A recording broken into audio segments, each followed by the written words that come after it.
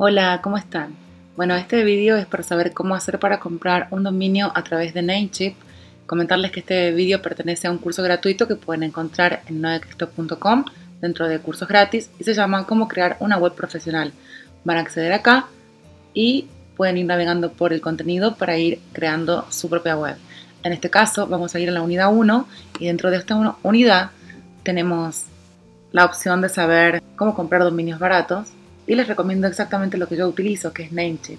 Entonces le podemos dar clic a este enlace o a la imagen. De todas maneras le voy a dejar el enlace en la cajita de comentarios y vamos a elegir el dominio que nosotros queramos. Previamente les recomiendo que hagan un estudio del tipo de nicho al que se están dirigiendo con la web que quieran crear y que en la medida de lo posible utilicen palabras clave. Por ejemplo, si están creando una web, una web sobre gatos, pueden ver si está disponible algún dominio que incluya la palabra gato. Gatos, por ejemplo, gatosfelices.com. Y si bien esta está registrada, tenemos la opción de .net, .org, etc. Entonces digamos que nos decidimos por gatosfelices.net, le daríamos al botoncito Add to Cart y ahora vamos al botón que pone Checkout y nos fijamos que no nos estén cobrando ninguna otra cosa extra precio va a ser de 11 dólares con 98. Podríamos extenderlo a más años si quisiéramos, pero en este caso lo vamos a dejar en un año.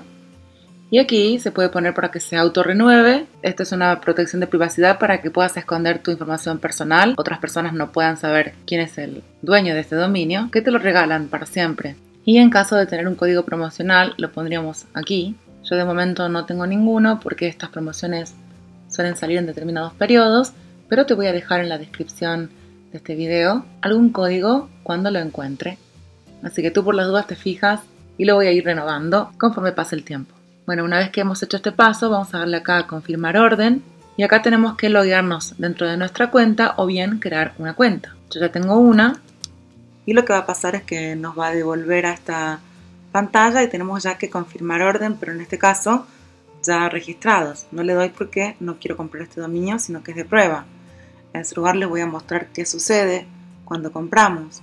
Nos va a llegar un email de Namecheap con nuestro número de orden y con toda la descripción del dominio que hayan comprado. En este caso es una orden vieja que tenía yo, en donde había registrado este dominio y fíjense el precio por el cual lo compré. Por eso les recomiendo este servicio porque pueden encontrar dominios realmente a muy bajo costo. Luego cuando estamos dentro, aquí podemos ver nuestra cuenta en Dashboard y aquí en Domain List están los dominios de los cuales somos propietarios. Y ahora, por ejemplo, si queremos apuntar el dominio a determinado servicio de hosting, lo único que habría que hacer sería seleccionar el dominio. Digamos, yo voy a seleccionar acá el que tengo, que es nodecristo.com. Le damos aquí a Manage. Y aquí en Name Servers se puede ver que este dominio está apuntando a Web Empresa, que es la empresa de hosting que utilizo para mi web principal, porque es realmente muy buena.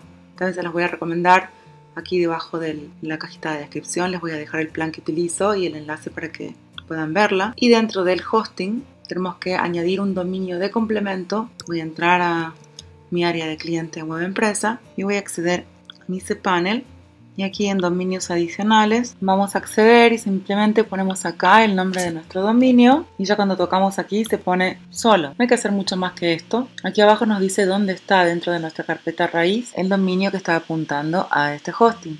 En este caso, noecristo.com, que sale de Namecheap, está dentro de public html barra noecristo, que viene a ser el nombre que se pone solito aquí, public HTML- y el nombre de dominio. Ante cualquier consulta sabes que tienes siempre al soporte de tu hosting, pero también te invito a que me dejes tus consultas en la cajita de comentarios de este vídeo.